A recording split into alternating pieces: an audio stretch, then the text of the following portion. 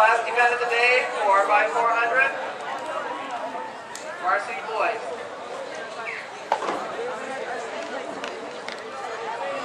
In the field events, we're finishing up varsity high jump.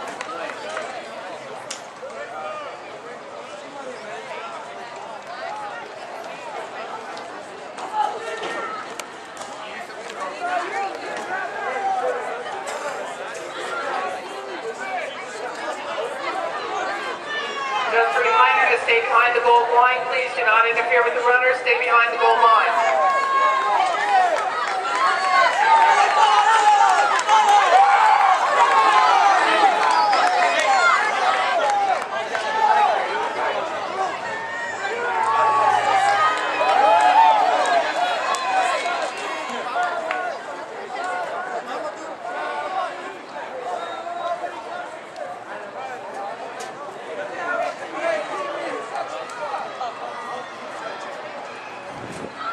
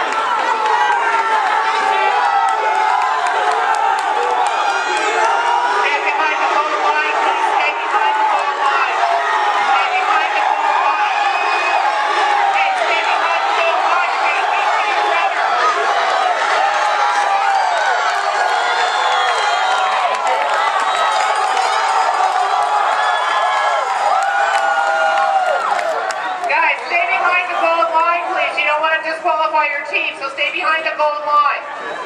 Do not interfere with the